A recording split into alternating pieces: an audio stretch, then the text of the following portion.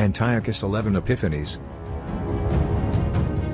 Antiochus XI Epiphanes Philadelphus was a Seleucid monarch who reigned as king of Syria between 94 and 93 BC, during the Hellenistic period.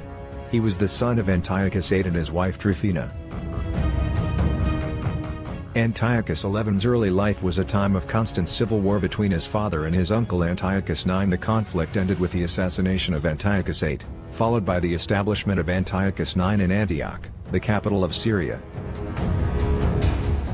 Antiochus VIII's eldest son Seleucus V, in control of western Cilicia, marched against his uncle and had him killed, taking Antioch for himself, only to be expelled from it and driven to his death in 94 BC by Antiochus IX's son Antiochus X following the murder of Seleucus V, Antiochus XI declared himself king jointly with his twin brother Philip I.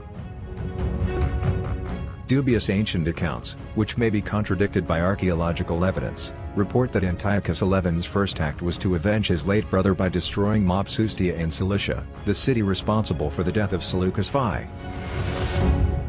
In 93 BC, Antiochus XI took Antioch, an event not mentioned by ancient historians but confirmed through numismatic evidence. Antiochus XI appears to have been the senior king, minting coinage as a sole king and reigning alone in the capital, while Philip I remained in Cilicia, but kept his royal title. Antiochus XI may have restored the temple of Apollo and Artemis in Daphne, but his reign did not last long.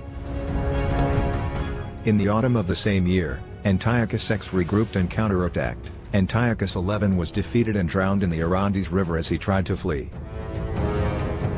The name Antiochus is of Greek etymology and means resolute in contention. The capital of Syria, Antioch, was named after Antiochus, father of the city's founder, King Seleucus I, reigned 305-281 BC. This name became dynastic and many Seleucid kings bore it. In circa 124 BC Antiochus VIII married the Ptolemaic princess Tryphaena, who died in 109 BC.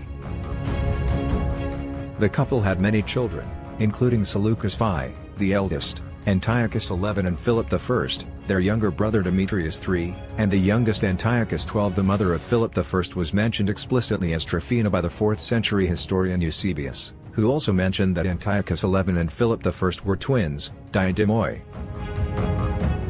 Antiochus XI's date of birth is unknown, but by the time he came to power he was at least in his 20s. In 113 BC, Antiochus IX declared himself king and started a civil war against his half-brother Antiochus VIII. The conflict between the brothers would last a decade and a half, it claimed the life of Tryphaena and ended with the assassination of Antiochus VIII at the hands of his minister Heracleon of Beroea in 96 BC. In the aftermath of Antiochus VIII's death, Antiochus IX took the capital Antioch and married Antiochus VIII's second wife and widow, Cleopatra Selene. The sons of Antiochus VIII responded, Demetrius III took Damascus and ruled it, while Seleucus V killed Antiochus IX in 95 BC and took Antioch. The new king was defeated by Antiochus IX's son Antiochus X, R. 95 to 9288 BC, who took the capital. Seleucus V escaped to Mopsuestia in Cilicia where he was killed by rebels in 94 BC.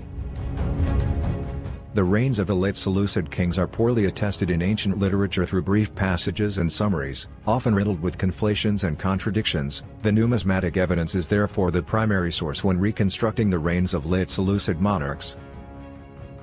During Seleucus I's reign, Antiochus XI and his twin probably resided in Cilicia. In the aftermath of Seleucus I's death, Antiochus XI and Philip I declared themselves kings in 94 BC, the historian Alfred Bellinger suggested that their base was a coastal city north of Antioch, while Arthur Houghton believed it was Beroea, because the city's rulers were Philip I's allies. It is more likely that Tarsus was the main base of operations. Both Antiochus XI and Philip I's portraits appeared on the obverses of Jugate coins they struck, and all the Jugate coins were minted in Cilicia. Three series of Jugate coins are known, as of 2008, one series has six known surviving specimens, depicting both kings with beards.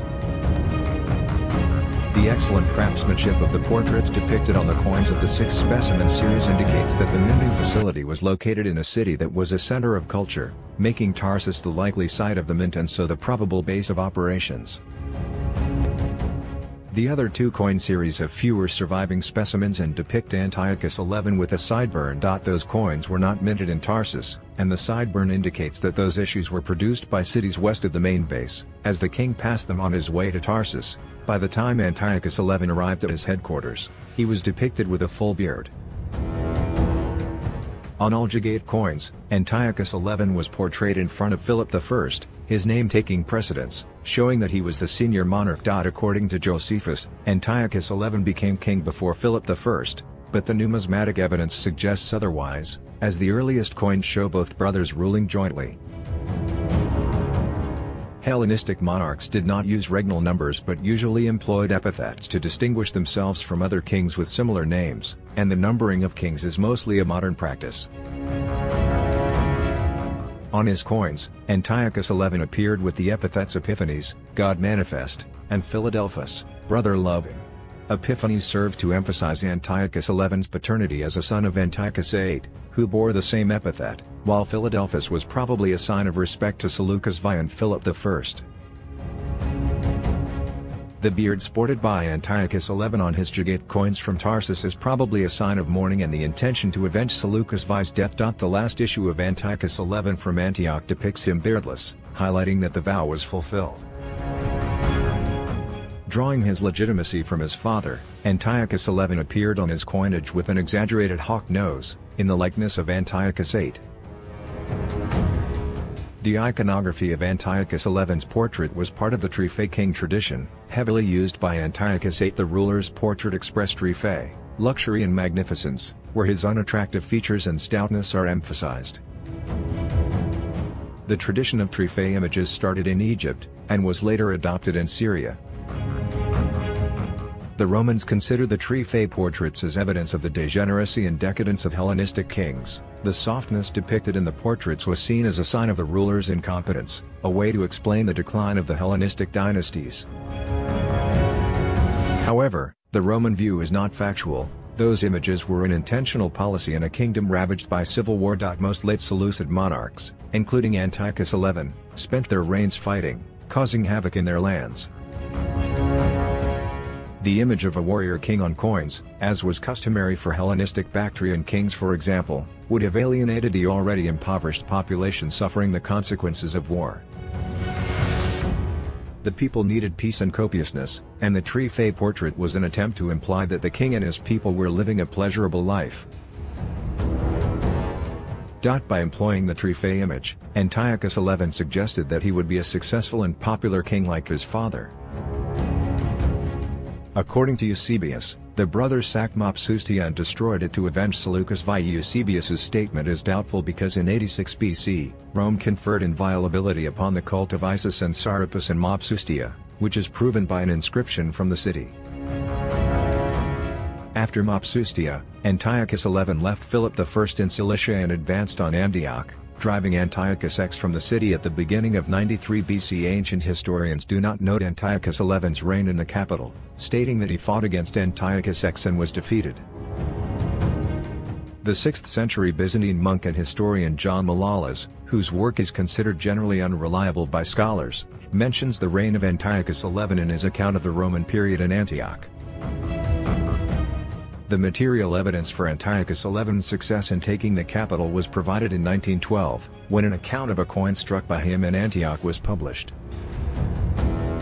Philip I did not take residence in the capital and Antiochus XI minted coinage as a sole king. Philip I kept the royal title while remaining in the city which was his base during the preparations to avenge Seleucus V.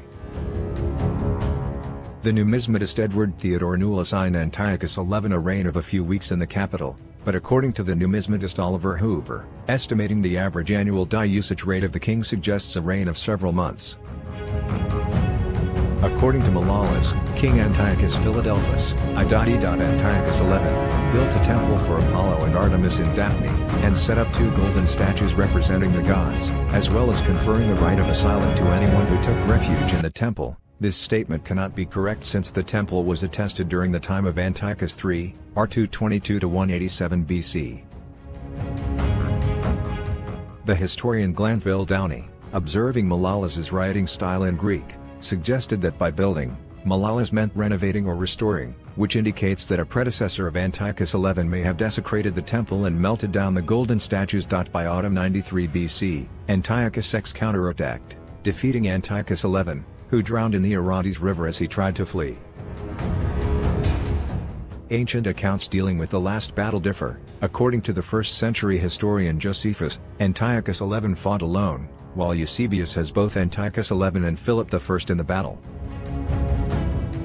Eusebius failed to note the reign of Antiochus XI in Antioch, stating that the final battle took place immediately after the destruction of Mopsuestia, a statement contradicted by numismatic evidence.